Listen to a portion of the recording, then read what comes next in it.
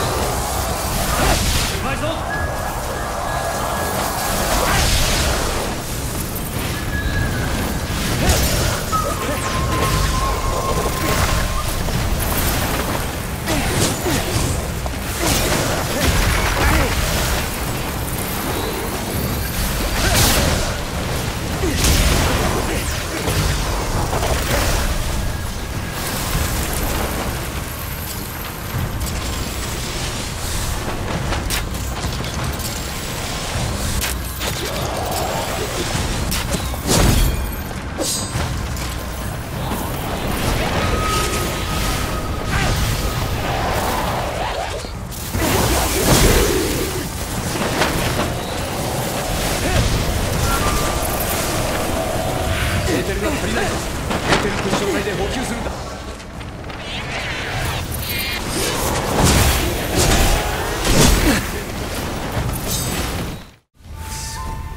まるで待ち構えていた。みた。いだな待ち構えていた。から当然だろ考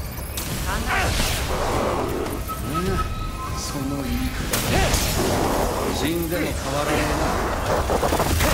それはお互い様